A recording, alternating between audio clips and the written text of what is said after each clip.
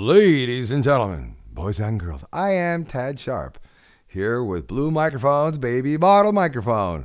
We're going to do the exact same test we just did to one of their other microphones from Blue Microphones. We have a Spark.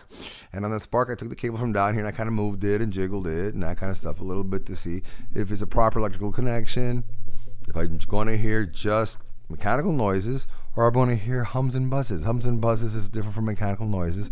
So this is our test of micro- microphone.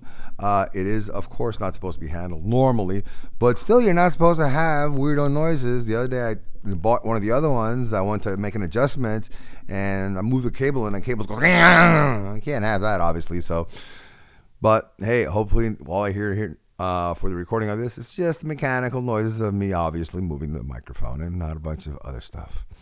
Thank you very much for participating in our wonderful tests. Blue microphone, baby bottle. I kind of actually like the sound out of this thing.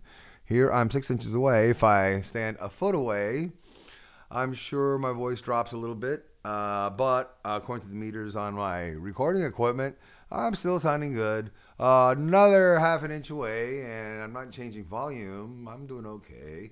If I could, I could sing. Yes.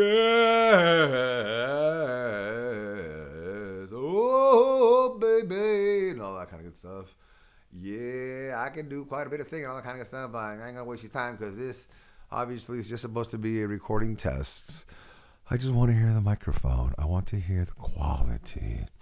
I want to hear how it sounds, the fidelity. I want to hear the nuances of the voices and see if it's really worth the money they claim. They claim it's a four hundred dollar microphone. Um, it comes does come in a nice box. Comes with uh, the suspension holder that you're looking at, and the microphone, and all that kind of good stuff. And so far, I'm happy with the quality. Let's see how it deals with this wonderful test. Yeah. Thank you very much, ladies and gentlemen. Have a proper, proper, beautiful day.